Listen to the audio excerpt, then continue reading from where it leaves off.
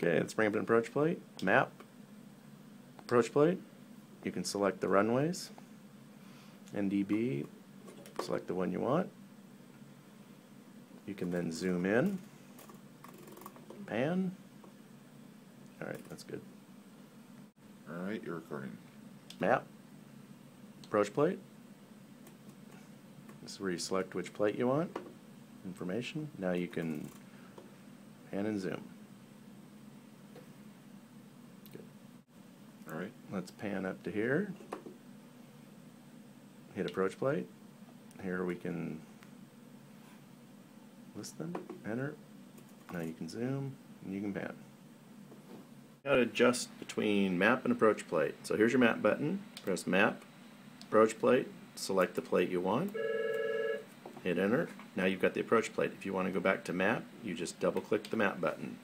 Go back to your approach plate, hit map, approach plate. That easy.